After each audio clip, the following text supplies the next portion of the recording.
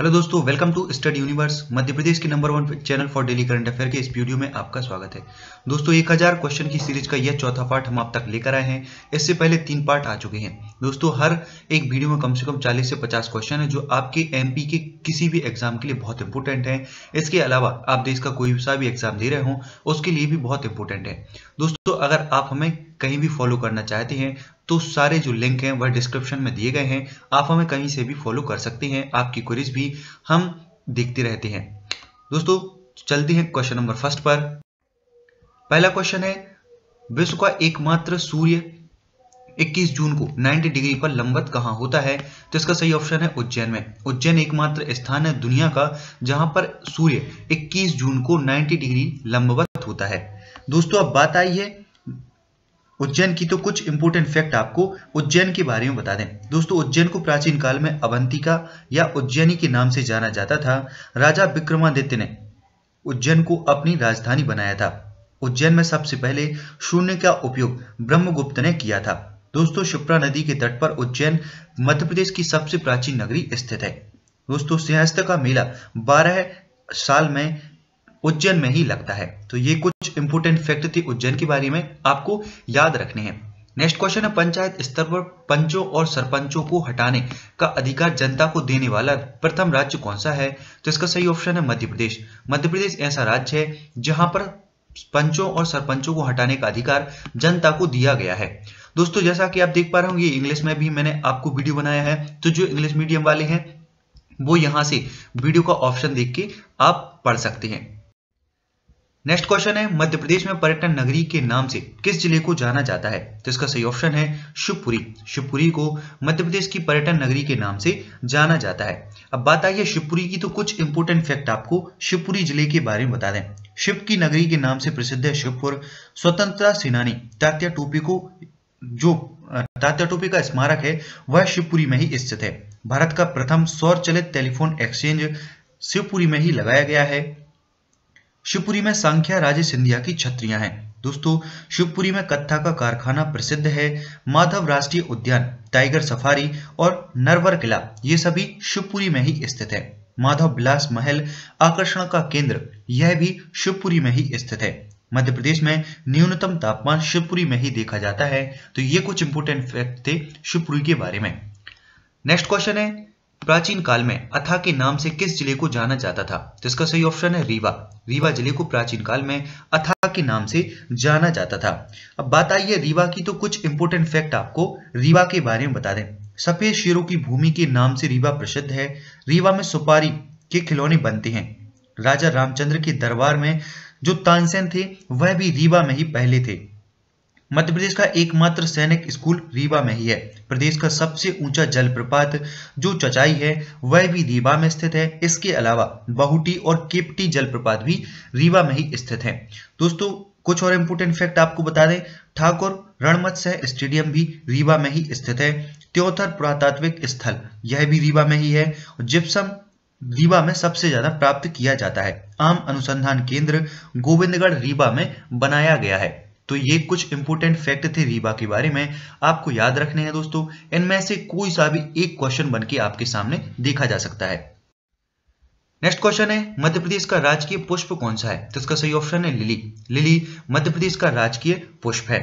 Next question Madhya Pradesh का राजकीय नृत्य क्या है? तो इसका सही ऑप्शन है राई। राई मध्य प्रदेश का राजकीय नृत्य है। यानी what is the state dance of Maharashtra Madhya Pradesh इसका सही ऑप्शन है मस्टर्ड नेक्स्ट क्वेश्चन है, मध्य प्रदेश में बुंदीला वंश की स्थापना किसने की थी? तो रुद्र बुंदीला ने, जो ऊर्छा में इस वंश की स्थापना की गई थी। तो आपको याद रखना है ऊर्छा में बुंदेला वंश की स्थापना की गई है। कलचुरी वंश की राजधानी कौन सी रही है? तो त्रिपुरी, जिसे हम वर्तमान में जबलपुर के नाम से जानते हैं, यह कलचुरी वंश की राजधानी रही है और इसके संस्थापक थे कृष्ण राज तो ये इंपोर्टेंट फैक्ट आपको याद रखना है ऐसा पूछा जा सकता है कि कलचुरी वंश के संस्थापक कौन थे? तो इसका सही ऑप्शन है कृष्ण राज। नेक्स्ट क्वेश्चन है, उन्नीस की क्रांति में मध्य प्रदेश के रामगढ़ से किसने विद्रोह किया था? तो इसका सही ऑप्शन है रानी अवंतीबाई ने। रानी अवंतीबाई ने अठारह की क्रांति में मध्य प्रदेश के रामगढ़ से विद्रोह का नेतृत्व किया था। मध्य प्रदेश की उत्तर की सीमा कौन सी नदी बनाती है? तो इसका सही ऑप्शन है चंबल नदी। चंबल नदी मध्य प्रदेश की उत्तर की सीमा बनाती है। यानी दोस्तों, मध्य प्रदेश और उत्तर प्रदेश के बीच चंबल नदी स्थित है, जो मध्य प्रदेश की उत्तर की सीमा बनाती है।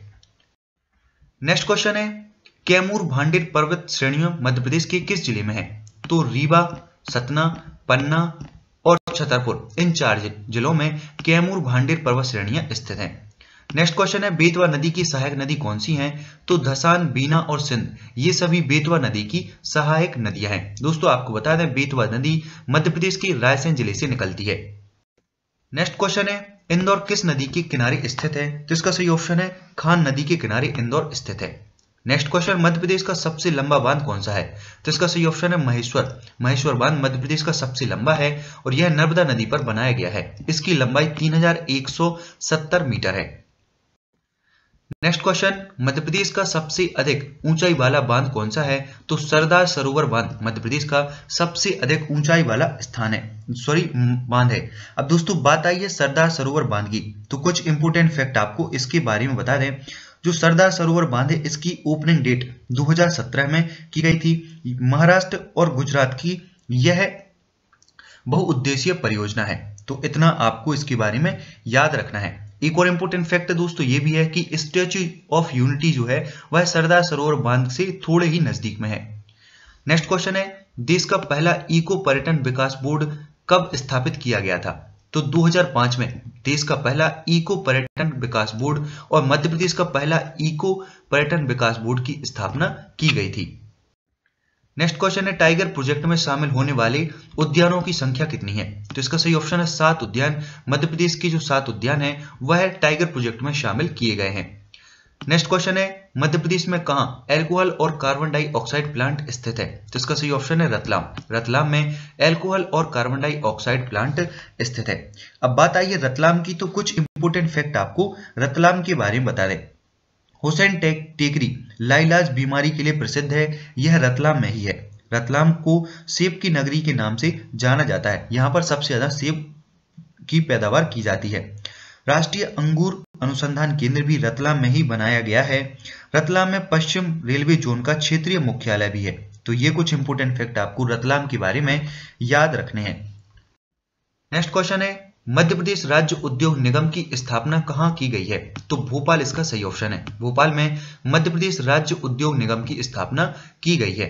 दोस्तों, मैं वैसे तो आपको भोपाल के बारे में बहुत बार इंपोर्टेंट फैक्ट बताए हैं, लेकिन एक बार फिर से आपको बताने जा रहा हूँ तो आप इन फैक्ट को बहुत गौर से सुने। आपके लिए बहुत इंपोर्टेंट है, क्योंकि यहाँ से एग्ज़ाम में क्वेश्चन बन सकता है।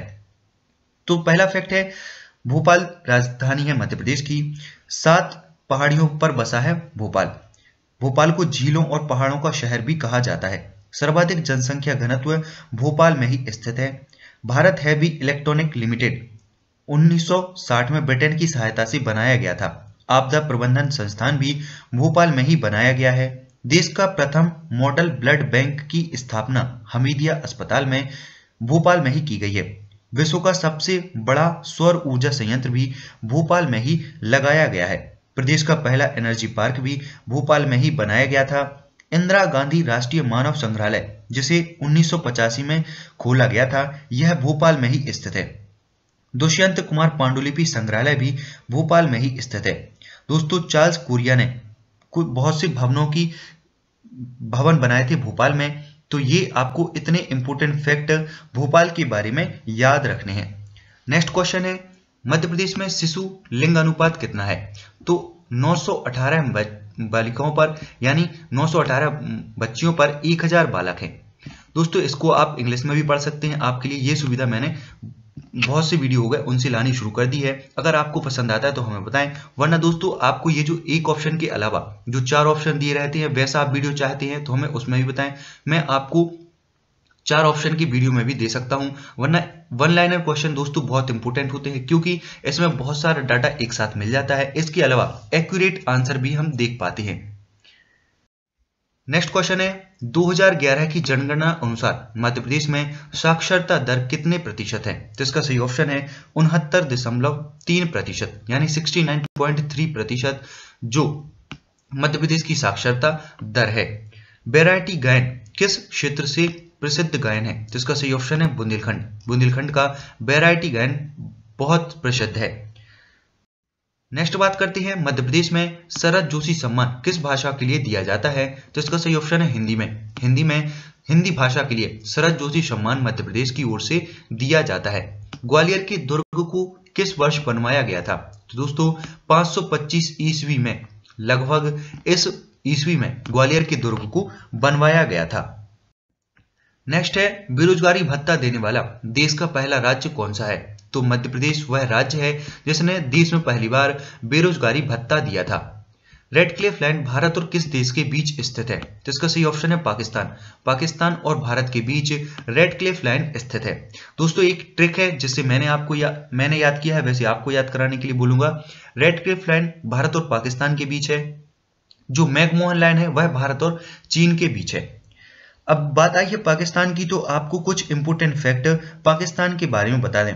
पाकिस्तान की जो कैपिटल है, वह है इस्लामाबाद और पाकिस्तान की जो लार्जेस्ट सिटी है, वह है कराची। यहाँ की जो राष्ट्रीय भाषा है, वह इंग्लिश और उर्दू है। इसके अलावा दोस्तों 14 अगस्त 1947 को इसको स्वतंत्रता प्राप्त हुई थी।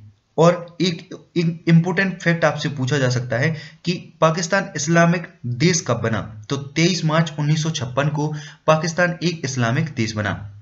आपको बता दें, पाकिस्तान के जो प्रेसिडेंट हैं, वह हैं आरिफ अलवी और पाकिस्तान के जो प्राइम मिनिस्टर हैं, वह हैं इमरान खान। एक और दोस्तों, आपको इंपोर्टेंट फैक्ट बता दें, हमने पाकिस्तान के जो भी नेशनल सिंबल हैं, यानी राष्ट्रीय प्रतीक है, उनके बारे में वीडियो किया है। आप वहाँ से जाकर वीडियो को देखें। पाकिस्तान, अफ़गानिस्तान का ये वीडियो एक साथ बनाया गया है। इसमें सारे जितने भी नेशनल सिंबल हैं, उनके बारे में बताया गया है। ये वीडियो बहुत इंपॉर्टेंट है दोस्तों। वहाँ से आपको एक ना एक क्वेश्चन आपके एग्ज़ाम में देखने को मिल जाएगा। तो आप वहाँ से वीडियो ज़रूर देखें। अब बात करते हैं दोस्तों करंट अफेयर के क्वेश्चन की। बहुत से करंट अफेयर के क्वेश्चन हम आप तक लेकर आए हैं 2019 के। और अब इस वीडियो में कुछ क्वेश्चन हम लेकर आए हैं। इसके अलावा जो भी आने वाले वीडियो होंगे, उनमें हम करंट अफेयर का ये पोर्शन रखने वाले हैं। तो पहला क्वेश्चन है, रविन्द्रनाथ टैगोर, साहित्य पुरस्कार 2019 किसे दिया गया है? तो राणा दास गुप्ता को साहित्य, जो रविन्द्रनाथ टैगोर साहित्य पुरस्कार है, वह इन्हें दिया गया है। और इनका उपन्यास था सोलो। सोलो उपन्यास के लिए इन्हें यह अवार्ड दिया गया है। नेक्स्ट क्वेश्चन है, मध्य प्रदेश का सांची का स्तूप। यहाँ पर दोस्तों संचय नहीं सांची है। मध्य प्रदेश का सांची का स्तूप कितने रुपए की भारतीय नोट पर अंकित है? तो ये एक बहुत इंपॉर्टेंट क्वेश्चन है दोस्तों, आपको याद रखना है, दो सौ रुपए के नोट पर मध्य प्रदेश का जो सांची का स्तूप है, वह बनाया गया है। आपको जैसे कि पता है, सांची का स्तूप विश्व धरोहर स्थल घोषित किया जा चुका है और ये मध्य प्रदेश के रायसेन ज़िले में स्थित है। तो ये इंपोर्टेंट फैक्ट आपको याद रखने हैं। जैसा कि दोस्तों, आपको पता है, हम भले 200 का नोट प्रतिदिन देखते होंगे, लेकिन आपको याद नहीं होगा कि सांची का स्तूप 200 के नोट पर बनाया गया है और ये एक इंपोर्टेंट फैक्ट है दोस्तों, आने वाले किसी भी एग्ज़ाम में आपको ये देखने मिल जाएगा। नेक्स्ट क्वेश्चन है, बच्चों ने अपने अधिकार के बारे में बताने। कहा चाइल्ड लाइन 2019 द्वारा शिविर आयोजित किया गया था? जिसका सही ऑप्शन है शहडोल। शहडोल ज़िले में बच्चों को अपना अधिकार बताने के लिए चाइल्ड लाइन द्वारा शिविर आयोजित किया गया था। दोस्तों, इसमें बच्चों के जितने भी अधिकार हैं, उनके बारे में चर्चा की गई थी और बच्चों को इनके बारे में अवगत कराया गया था। अब बात आई है शहडोल की तो कुछ इंपोर्टेंट फैक्ट आपको शहडोल के बारे में बता दें। एशिया की सबसे बड़ी कोयला खदान सुहागपुर शहडोल में ही स्थित है। यूरेनियम खनिज वाला राज्य का एकमात्र जिला है शहडोल। ज़िले, दोस्तों रिलायंस ग्रुप द्वारा मीथेन गैस संयंत्र भी शहडोल में ही लगाया गया है। एशिया की सबसे बड़ी कोल फ़ील्ड सुहागपुर शहडोल में ही खोली गई है। तो इतना आपको शहडोल के बारे में याद रखना है। नेक्स्ट क्वेश्चन है, किस राज्य ने गौ अभ्यारण की स्थापना की है? तो इसका सही ऑप्शन है मध्य प्रदेश। मध्य प्रदेश राज्य में गौ अभ्यारण की स्थापना 2019 में की गई है।